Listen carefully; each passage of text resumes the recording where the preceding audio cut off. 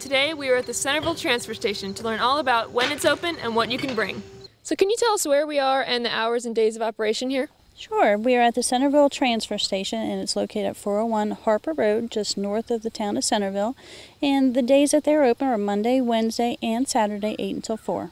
So what are a couple things that you might be able to bring here that you can't take to the other transfer stations? Okay, one of the main things that you can bring here in the red container that we have is gasoline. So if you have a gasoline product, you can bring it to this transfer station only and we take it. That's with a partnership with the Maryland Environmental Service.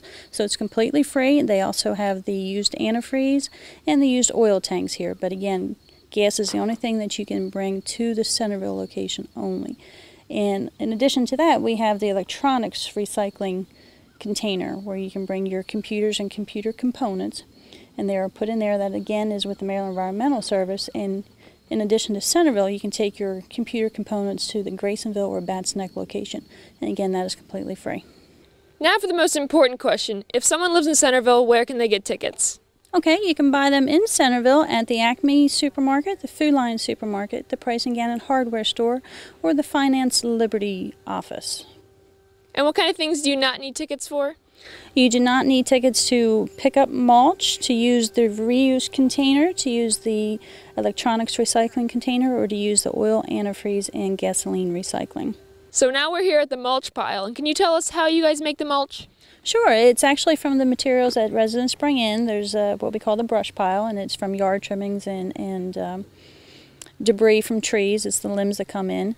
And a tub grinder comes in and then grinds the mulch or grinds material into the mulch that is now available free to any county resident or business that would like to use it. Uh, they can come get it any day that the sites are open. It is available at all five of the county transfer stations. Now if a resident has construction or demolition debris, can they bring it here?